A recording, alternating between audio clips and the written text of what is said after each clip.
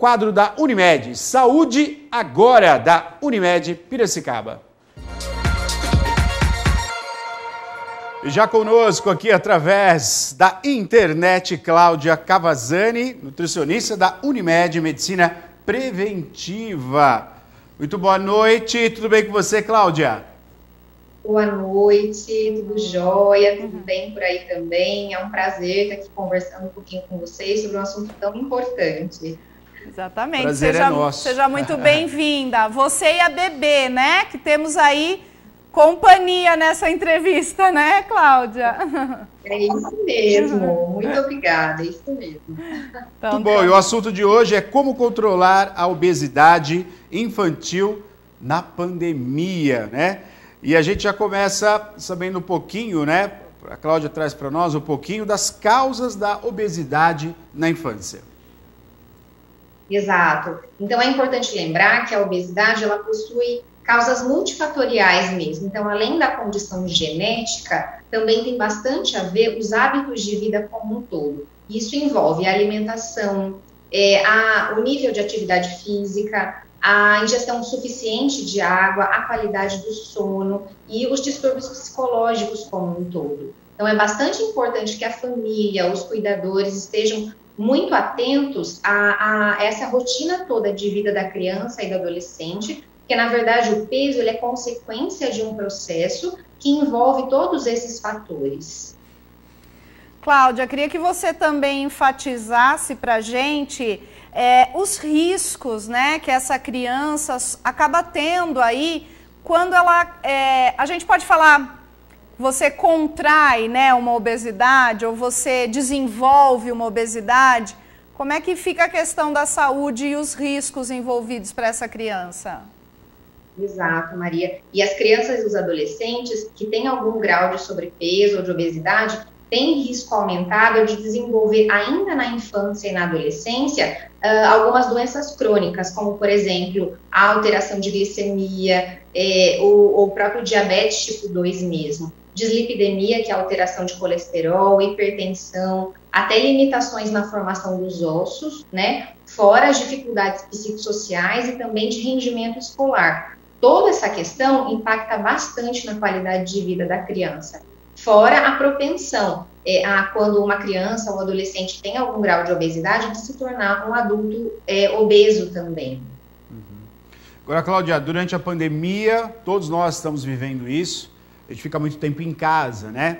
E aí acaba se esgotando aí as, as possibilidades de alguma atividade, né? Geralmente assim. E uma atividade que é muito praticável, não é tão saudável, mas é muito praticada, é comer, né? Não é, não é se alimentar, mas sim comer. A ansiedade, a falta do que fazer. Aí você vai até o armário, pega aquele saco de pipoca, faz um monte de pipoca com muito sal, né? E aí a diversão da criançada, né? Não que não, não se possa comer pipoca, mas na pandemia acaba sendo uma maneira de acalmar os ânimos. É pipoca e vai bolacha, enfim. Eu queria que você falasse um pouquinho para nós qual é a, a, as consequências, né, para a criança. A gente o tempo todo está dando esse tipo de, de alimento, né, é, que não é, não é tão saudável para as crianças, e aí estimulando, né, a criança está o tempo todo mastigando, comendo alguma coisa. Eu queria que você falasse um pouquinho, né, quais, quais são as consequências é, dessa, é, dessa maneira, né, de durante a pandemia se tratar ali, né? Vamos comer alguma coisa o tempo todo, belisca isso, belisca aquilo. Quais são as consequências disso? Isso. Então é muito comum mesmo os beliscos, né? Então essa falta de regularidade com o horário, tanto para as refeições quanto para o sono e tudo mais, isso acaba atrapalhando bastante. E a gente sempre é parte do, do princípio de que tudo que não é saudável no geral é, é, bom, é importante não comprar, não ter em casa, para a gente evitar o acesso mesmo, né? E aí esse consumo ele vai ser limitado, ele vai ser programado, enfim. Então, por exemplo, os alimentos que não são saudáveis, a gente chama de alimentos ultraprocessados, que são aqueles alimentos com excesso de gordura, de sal, de açúcar, de muitos aditivos químicos e com um processamento, é, um grau de processamento alto a nível industrial. Então, toda essa questão, é, esses alimentos refrigerantes, suco pó, suco de caixinha, no geral, eles não induzem a sensação de saciedade. Isso faz com que a, a, a criança ou adolescente tenha um consumo desordenado. Então, ela não percebe que ela está comendo tanto, né? E isso faz com que a, a, gente possa acabe ingerindo uma quantidade excessiva de calorias, pela quantidade, pelos beliscos, não por fome, mas por essa questão muitas vezes relacionada, é, muitas vezes à ansiedade, a falta de planejamento mesmo de programação alimentar, né? E, e, aí, consequentemente, ao excesso de calorias que a gente ingere, o aumento do peso corporal e, claro, o risco para desenvolvimento de doença crônica. Então, é bastante importante esse cuidado com o ambiente dentro de casa, né? Como é que você planeja e organiza o ambiente alimentar dentro de casa, para que a gente não tenha o acesso assim tão facilitado às coisas que não são saudáveis, né? Na medida do possível. Ô, Cláudia, e como você é, poderia orientar né, os pais, mães, cuidadores, né? Muitas vezes as crianças ficam com, ficam com os avós, os tios, enfim. Os cuidadores dessa criança e adolescente também. É, quais são os caminhos aí para conseguir manter, né? Se existe. É, é possível tratar uma, é, traçar uma estratégia de como manter o peso ideal dessa, desse ser humano que está em formação, né?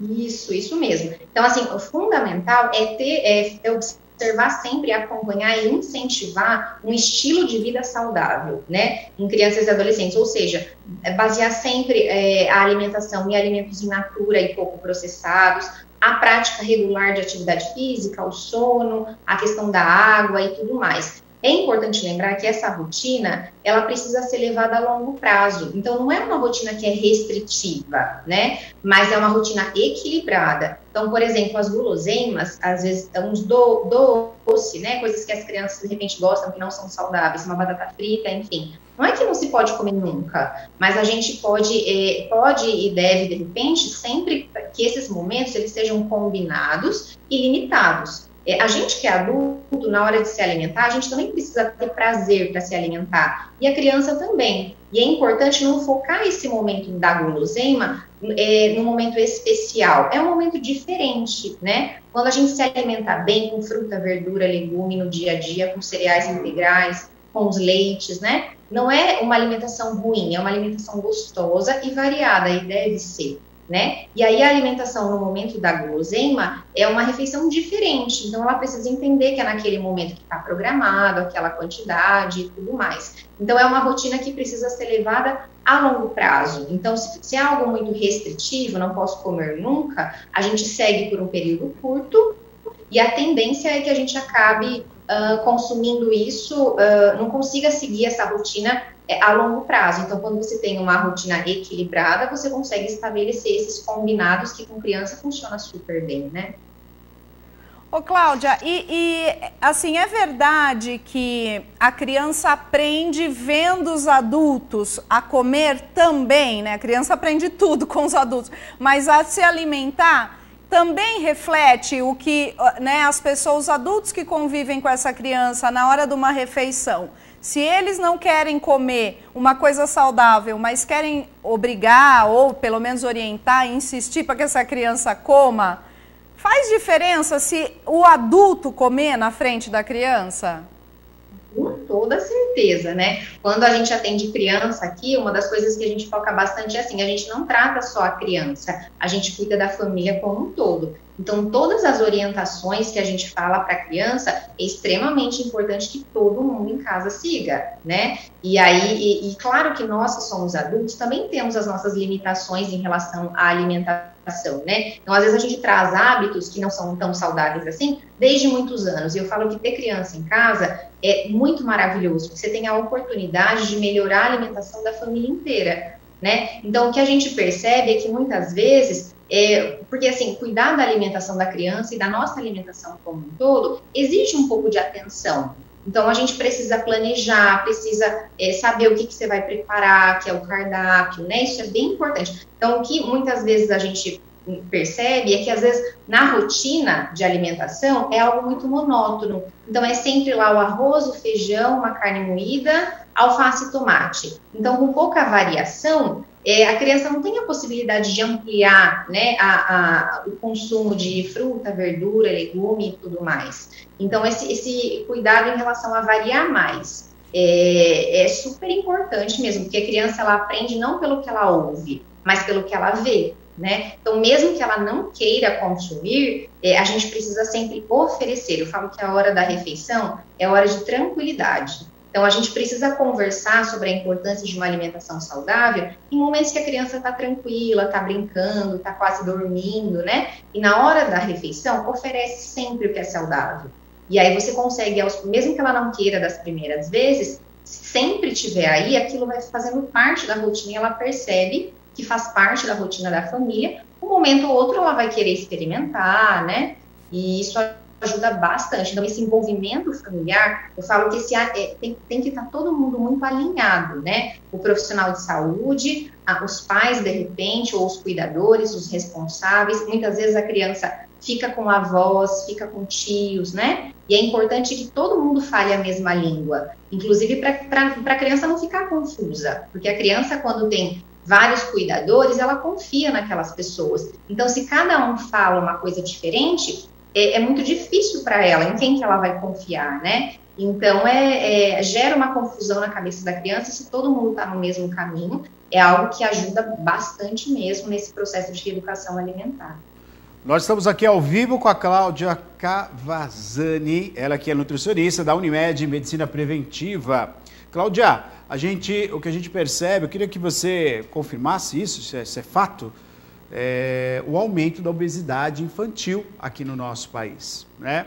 E eu queria que você comentasse um pouquinho sobre isso, né, dessa questão da obesidade que vem aumentando, e ao mesmo tempo que a criança deve se alimentar muito bem, ela tem que ter uma atividade é, é, física, motora, também bem ativa, né? E o que a gente vê que a criança está comendo mal, quer dizer, muita coisa é, é processada, como você falou, e sem atividade física, né? Ora por conta da pandemia, mas mesmo antes da pandemia, a gente perdeu um pouco que nós tínhamos enquanto crianças, né? As brincadeiras na rua, é, as caminhadas, o pega-pega na escola, né? Aquela correria, o esconde-esconde, eram brincadeiras em conjunto, brincadeiras de grupo que ajudavam a queimar as calorias, né? ajudavam a, a, a, a, a produzir exercício para as crianças. O que a gente vê hoje é joguinho, e o máximo é balançar uma mão gravando um videozinho para pôr na internet, né? A maioria das crianças estão fazendo isso agora. Então eu queria que você falasse essa relação, desde como se alimentar bem, como a Maria falou, levando em consideração a própria família, a oportunidade de comer melhor, né? Não é quantidade, mas é a qualidade dessa comida.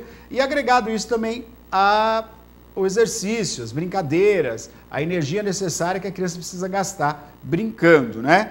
E voltando à primeira pergunta, então, a obesidade aumentou no nosso país?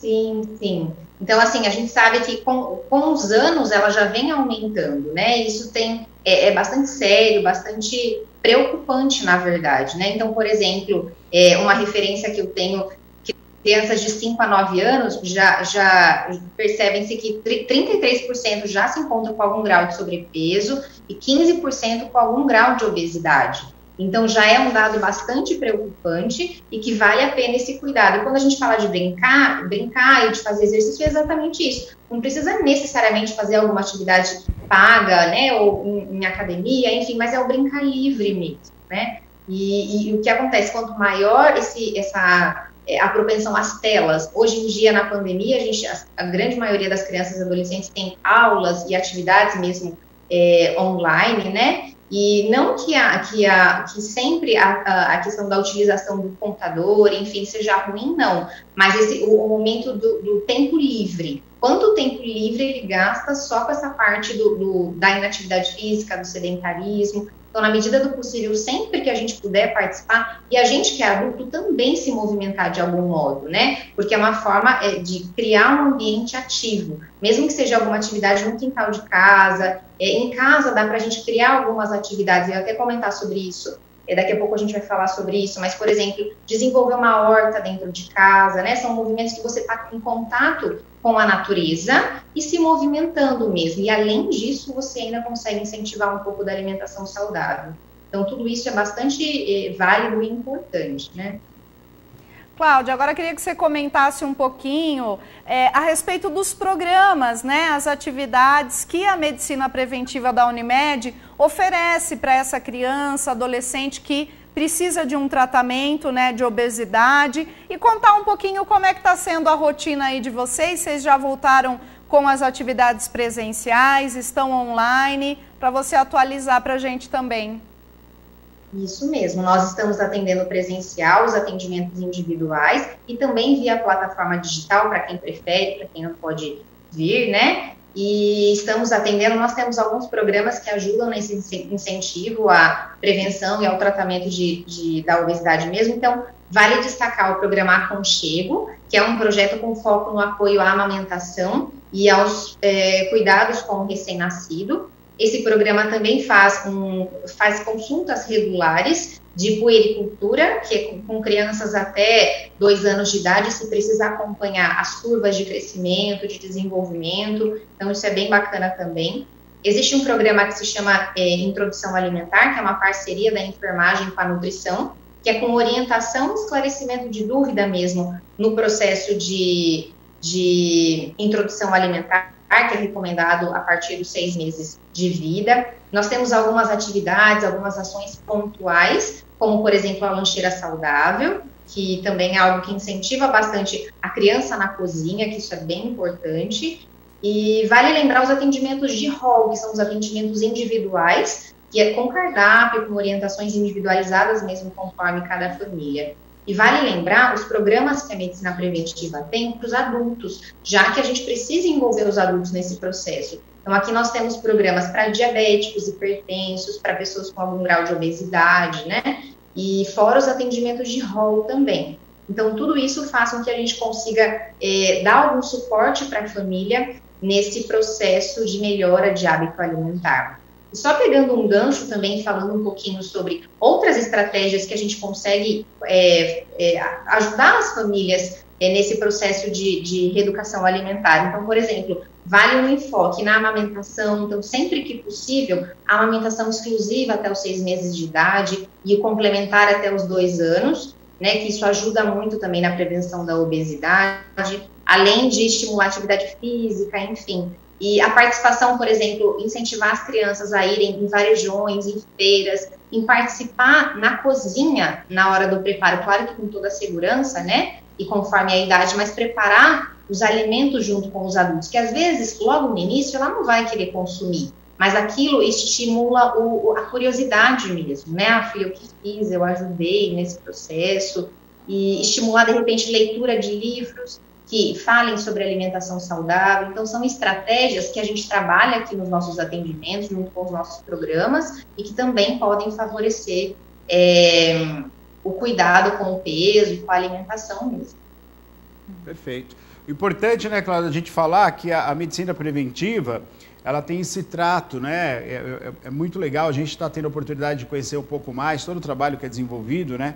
Da medicina preventiva, e a alimentação é, a, é o melhor caminho, né, associado à atividade física, para que a gente possa nos proteger de muitas doenças, não é verdade?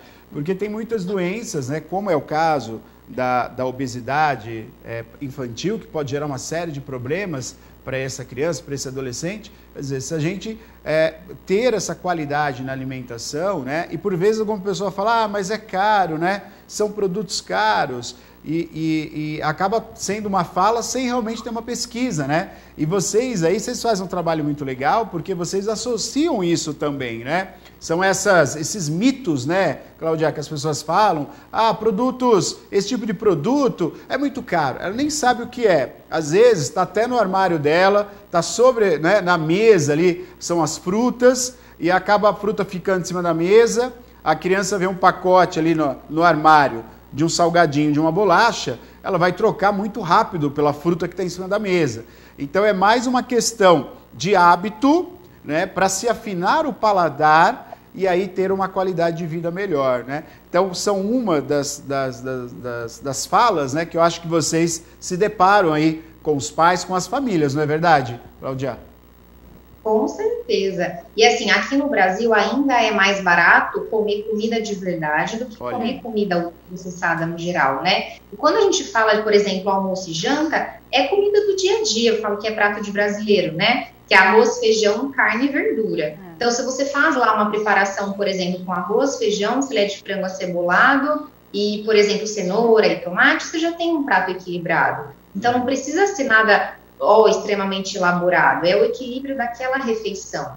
Então, os intervalos, o café da manhã, o café da tarde. Se tem ali um copo de leite, é uma fatia de pão integral e de repente uma banana, por exemplo. Então, é a composição é, da refeição que torna aquilo nutritivo e que modula a fome.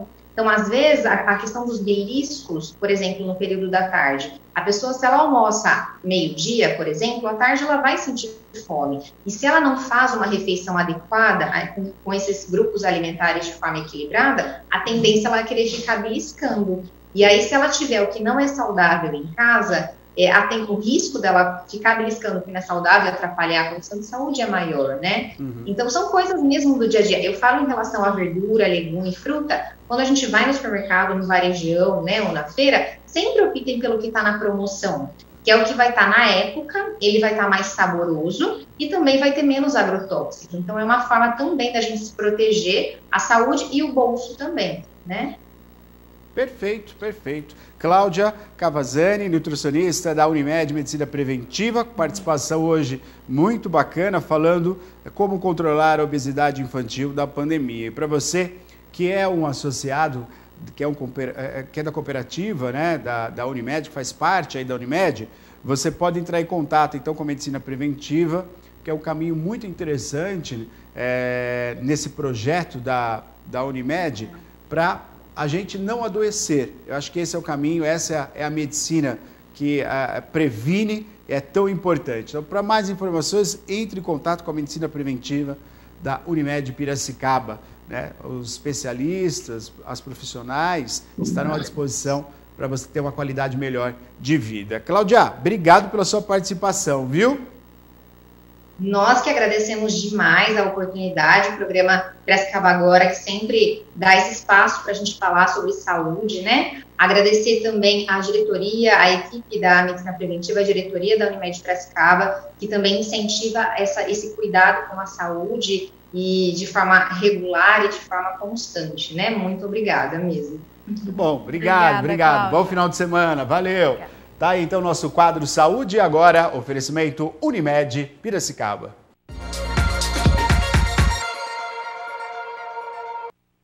E ainda falando, né, sobre o nosso quadro, tem manifestações aí, né, Maria? Tem sim, Neto. Todo mundo elogiando aqui a nutricionista Cláudia, né? Uma querida muito delicada, né? A Cecéia. Cláudia é uma querida. Ela foi nutricionista minha por 10 anos. Manda um beijo para ela. Aí, Cláudia, um beijo da Cecéia para você. Confesso, que eu não obedecia muito ela, não. Mas ela era uma fofa, com toda a sua paciência com a gente. Que legal, ó, mandou uma gatinha aqui de corações. Obrigada, Cecélia. A Beth também tá aqui deixando o seu abraço, né? Doutora Cláudia, um amor de profissional. Aliás, todos lá. Eu era paciente o ano passado, não fui, né, por conta da pandemia. Sim. Ela mesma me ligava para saber da minha saúde. Ó, que beleza, Preciso hein? voltar. Essa é a Muito bom. Tá aí então a participação do público do Piracicaba agora, junto aí, né, ao nosso quadro da Unimed Saúde agora. Muito bom, viu?